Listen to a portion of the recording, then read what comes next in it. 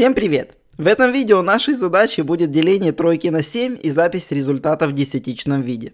Не думал, что добавлю такое видео на канал, но видя то, что огромное количество старшеклассников и близко не понимают, как это делается, не сдержался. Чтобы было понятнее, что происходит в процессе деления, представим, что мы решаем задачу, в которой есть три пиццы, которые нужно поровну разделить между семерыми школьниками. Естественно, нет возможности каждому дать по целой пицце, поэтому результатом будет 0, и что-то после запятой. Так как следующим шагом нужно узнать, сколько десятых частей пиццы получит каждый, нам необходимо тройку превратить в 30 одних десятых и после этого раздать поровну семерым. Если каждый получит по 4 десятых, то 28 десятых получится использовать.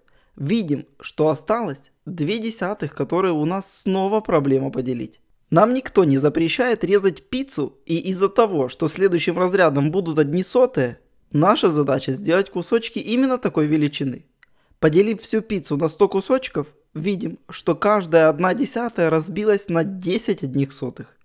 То есть в нашем случае нужно поделить теперь уже не 2 десятых на семерых, а 20 сотых на семерых.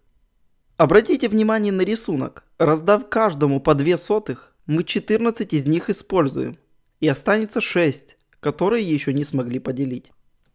Для тех, кому не особо интересно быть точным, можно забрать свои 0,42 пиццы и начать ее есть.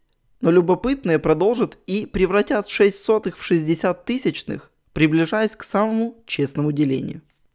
Так как 7 на 8 это 56, раздав по 8 тысячных увидим, что есть еще 4, которые нужно поделить.